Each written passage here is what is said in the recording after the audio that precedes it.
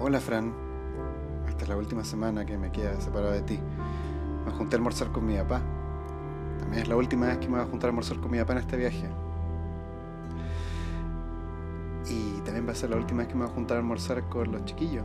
Con el Feña, con la Ale, con la Su, con la Lore. Tomamos una oncecita, nos reímos. Todo entretenido.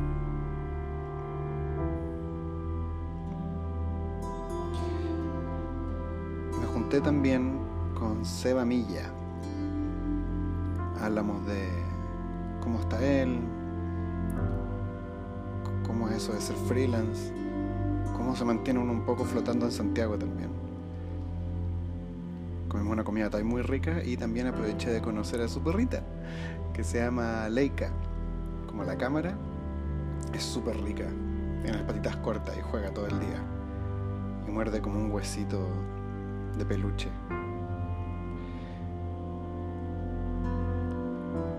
En la noche, me, esa semana me quedé a dormir en la casa de Felipe y Sebastián. Y Matías me fue a ver también. Aprovechamos de conversar, de pasarlo bien. También me junté por última vez con mi hermana. Vino mi mamá de Chiloé a verme. Y después el resto de la semana me quedé en la casa de la Lore. Te mando muchos saludos, obvio. Me junté con Felipe por última vez y me junté con Martín también, que también se vino de Chiloé, pero esta vez a ir a Santiago. Y tuvimos la última tocata. Vendimos las últimas poleras y los discos. Y se vino las flores de Argentina también a vender las poleras de la gira. Estuvo bonito el último show. Se echa de menos eso. Terminé de tocar, agarré mis cosas y me preparé y me fui al aeropuerto. No hay nada más aburrido que esperar en los aeropuertos. Llegué súper temprano en la mañana y estaba todo el mundo durmiendo. Así que tomé el pasaje y me fui. Y empezó el viaje. Primero subirse al avión, llegar hasta el aeropuerto de Panamá, esperar en Panamá, después llegar a Ámsterdam y después de Ámsterdam la promesa de volver a Berlín, pero estaba bien. Nos vamos a ver. Eso siempre es bueno. Me acompañó el sol de la tarde cuando llegué y después me fui al lado de la ventana. Y un poco es como mirar el mar también. Como la sensación de algo tan, tan, tan grande que no te cabe adentro, así que lo único que puedes hacer es mirarlo. Ver el avión despegar y aterrizar y despegar y aterrizar.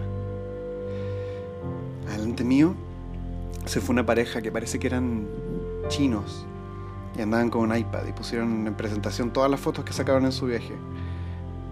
Y habían fotos de flores, de gente sonriendo, abuelitas, gente que no conozco, que de hecho nunca voy a conocer.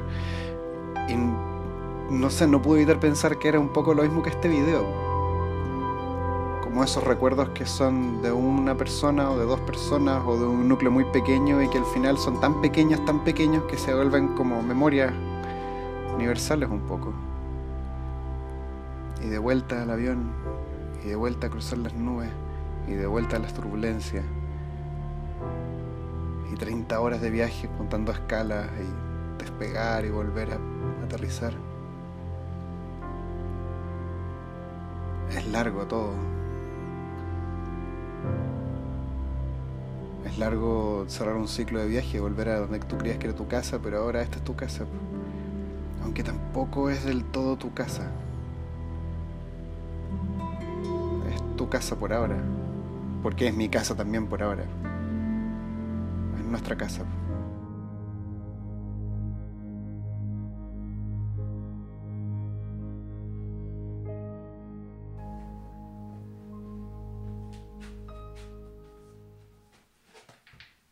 Oye, ¿y cuándo voy a subir el video? Eh, luego, o sea, me falta un. Un audio y estoy listo. ¿Por qué? Pero si la gente ya sabe que estamos juntos, Eva. Da lo mismo, nadie se da cuenta.